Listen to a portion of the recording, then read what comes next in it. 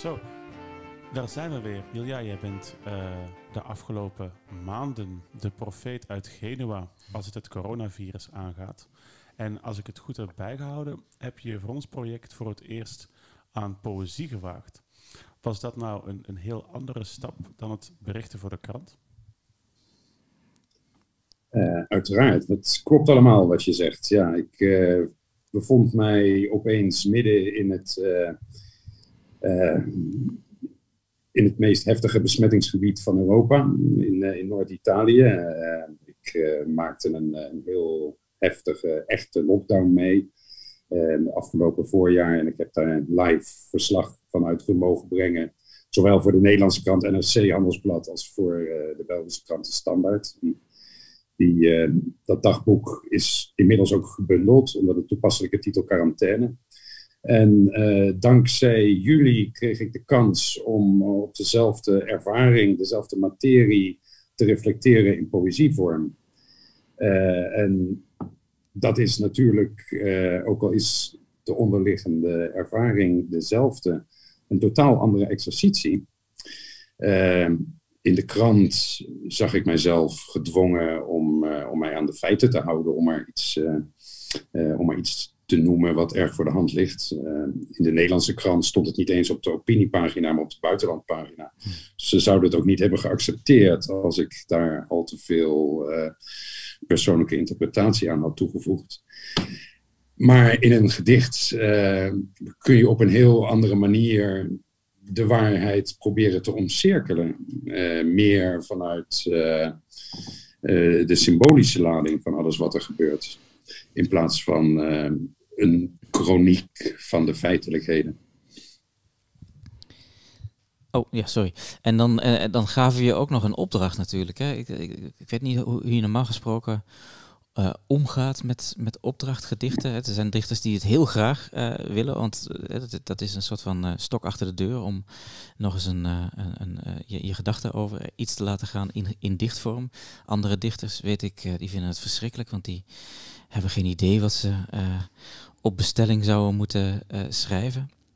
En dan was het ook nog eens een keer een opdracht om je te verhouden tot Paul van Ostaaien. Hoe, hoe kwam die vraag bij jou binnen? Ik doe graag uh, opdrachten. Uh, ik hou er ook van om uh, zo onmogelijk mogelijke opdrachten aan te nemen. Ik heb ooit eens een keer een, een kort verhaal mogen schrijven voor het automerk Fiat. Met als enige beperking erin dat er een Fiat moest voorkomen. kijk, daar hou ik van. Uh, vervolgens uh, vind ik het erg leuk om uh, opdrachten te krijgen om eh, die opdracht vervolgens aan mijn lijst te lappen. Wat dat betreft was dit een atypische opdracht, want ik heb me er vrij goed aan gehouden. Ehm, het gedicht gaat, zoals eigenlijk de hele bundel van, van Ostaaien, over het absurdisme van het dagelijks leven in de grote stad. En dat dan onder de bijzondere, uh, uh, de bijzondere omstandigheid van een pandemie. Uh, het, het, is eigenlijk, kon ik de ervaringen die ik had met de pandemie vrij naadloos leggen op, op de bundel van Van Ostaaien. Vervolgens vond ik het niet zo interessant om het helemaal vol te stoppen met letterlijke citaten en uh, dat soort dingen. Het, het, gaat meer om het, uh, het algemene gevoel dat eruit spreekt. En het specifieke gedicht dat uh, voor mij was uitgekozen, we mochten niet zelf kiezen, maar ik kreeg het, het gedicht opdracht meneer Zo en Zo. Um, dat is een gedicht waarin, nou ja, ik, ik zal me niet wagen aan een, aan een alles verklarende interpretatie van het gedicht. Maar ik kan me niet aan de indruk onttrekken dat daar uh, een, groot, een grote component nihilisme in voorkomt. Ja, dat Als het maar dat het woord nihil daar uh, een aantal keren in voorkomt. In, in, in nogal grote dat is eigenlijk een soort, een soort antwoord op dat nihilisme. En dat is eigenlijk precies ook waar mijn gedicht over gaat. waarbij de pandemie bijna wordt verwelkomd als een antwoord op nihilisme. Ja, en eh, mooi natuurlijk, want uh, dat zit ook bij Van Ostaaien. Hè? De, die, dat nihil, dat, dat slaat je om je oren in die eerste pagina's van Bezette Stad. Uh, zelfs heel letterlijk, nihil in alle vormen, nihil in alle talen, nihil in alle dialecten. En dan gaat hij nog verder en verder en verder. Hè, dat nihil, ja, dat houdt maar niet heel op. dik gedrukt. Ja, heel, hele dikke, grote letters. En ja een, een, paar regels later zegt hij eigenlijk gewoon dat dat het eigenlijk het enige positieve is wat is op te merken over die hele situatie. Um, nou, bij jou gaat het een beetje anders, maar uh, is, is dat bijvoorbeeld zo'n punt waarop je hebt gedacht van hé, hey, die van Ostaaien die zit hier wel interessant te denken, daar kan ik iets mee? Ja, nou ja, het is iets waar ik ook al op andere manieren me mee bezig heb gehouden. Met het toenemend nihilisme in de hedendaagse maatschappij. Uh, ik heb bijvoorbeeld een essay geschreven over ironie en de verhouding tot nihilisme en dat soort dingen.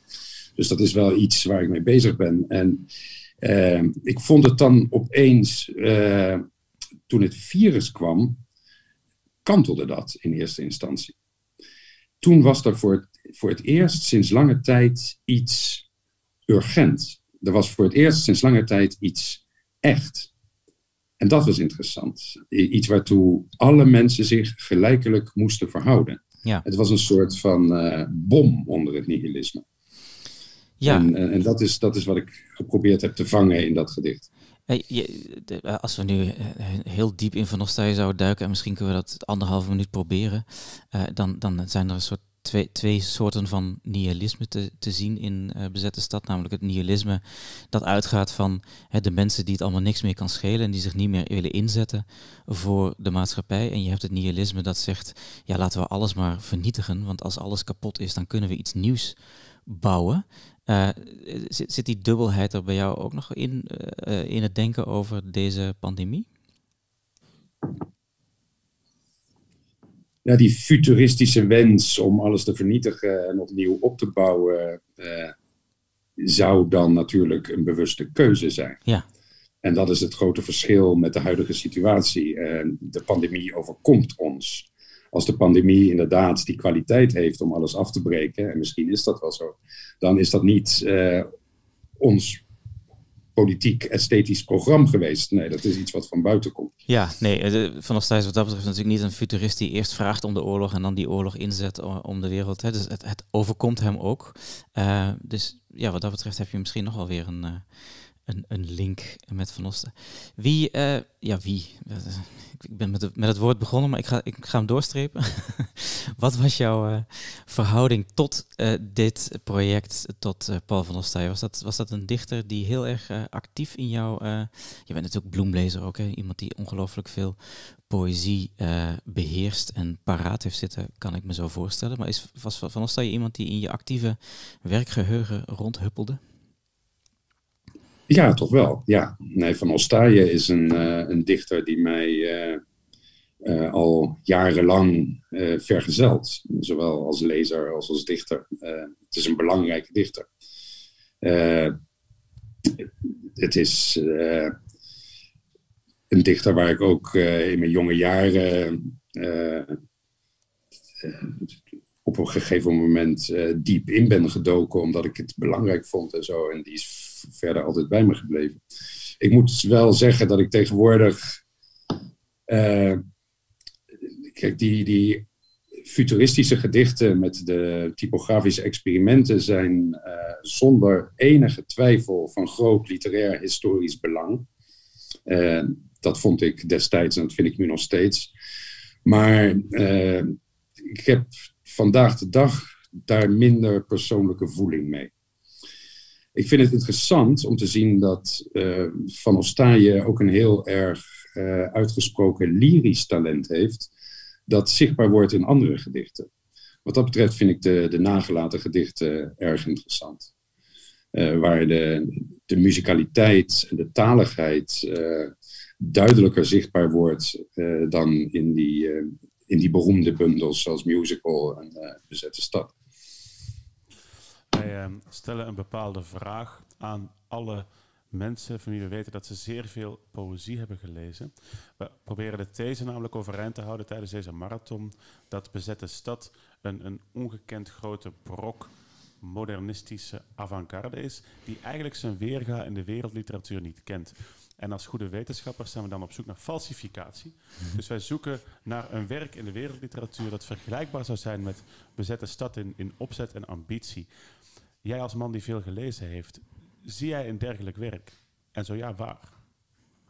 We kunnen niet ontkennen dat Paul van Ostaaije uh, precies wist waar de avant-garde was op dat moment. En uh, hij is een van de meest tot de verbeelding sprekende exponenten van die avant-garde uit die jaren. Maar hij is niet de enige natuurlijk. Ehm, ik ken toevallig een beetje het werk van Italiaanse futuristen uit de jaren 10 en 20 van, van de vorige eeuw. Ehm, die waren heel erg met hetzelfde bezig. Dus het valt wel in een, in een stroming. Het, het, is niet iets wat Van Ostaaije helemaal zelf heeft uitgevonden. Uh, het is ook een schilder als Carlo Carrà, een Italiaanse schilder, heeft in zijn futuristische periode ehm, zich op het snijvlak begeven van beeldende kunst en poëzie. En met, met typografische experimenten die heel erg aan, aan Van, van Ostaaije doen denken. Dat gezegd zijnde moet ik wel zeggen dat Paul van der Staaije beter is. Kijk, dat horen wij toch graag in, in een marathon die een heel feestjaar moet inluiden rond Paul van Ostaaien. Ik heb nog een, een specifieke vraag over je uh, gedicht. Je zou er makkelijk over lezen, maar um, jij roept in je gedicht God op. En het is heel lang niet hip geweest om als dichter je op een of andere manier te willen verhouden tot God en dan nog met een hoofdletter ook. Heb jij de indruk... Oh ja, is dat zo? Ik kan me helemaal niet meer herinneren. Wacht, ik heb hem hier bij de hand. Ctrl F op G. Um, maar je, je mijn vraag ongetwijfeld beantwoorden uh, uh, zonder terug te kijken. Oh ja, ik heb het al. Ja, ja, ja. Want we hadden het net uh, over nihilisme. En wat ik me afvroeg toen ik jouw gedicht las, ook in het licht van de crisis, heb jij het gevoel dat, dat God of, of een ander concept als de wraak van de natuur opnieuw motorisch kan zijn in onze samenleving? Dat is nogal een vraag, hè? ja.